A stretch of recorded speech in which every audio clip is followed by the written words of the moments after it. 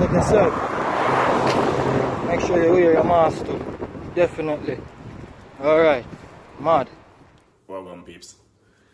Hey, in light of this whole pandemic and the whole COVID situation, um, I attended a party over the weekend, and even though I wore my mask for the most part, I think the responsible thing to do is go in a self quarantine for the next 14 days.